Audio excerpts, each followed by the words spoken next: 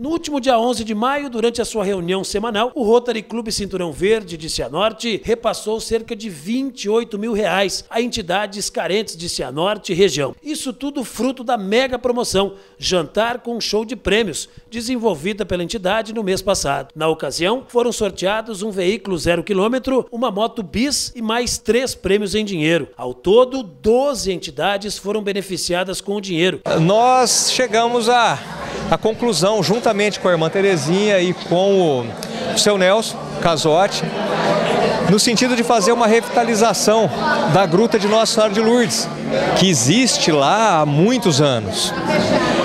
E para isso nós precisamos de recursos financeiros.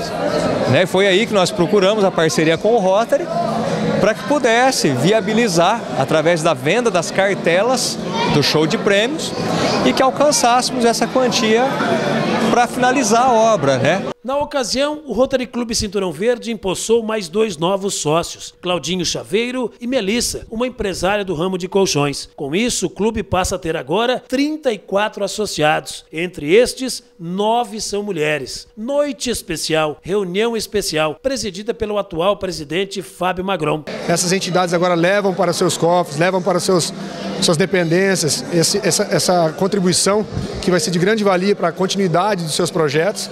E nosso clube também faz a contribuição com a Fundação Rotária, que continua desenvolvendo projetos, assim como a campanha contra de combate né, à poliomielite, para a erradicação da polio no mundo todo, projetos de saneamento, projetos de educação que são desenvolvidos em todo o mundo, através dos Rotary Clubs, através da Fundação Rotária. Então essa contribuição foi muito grandiosa a todas essas entidades e nosso clube fica feliz de ter feito um belo trabalho aí junto com essas entidades. A noite de gala terminou com um jantar de gala. Parabéns a todos os rotarianos por mais esta empreitada, fazendo bem sem interessar a quem.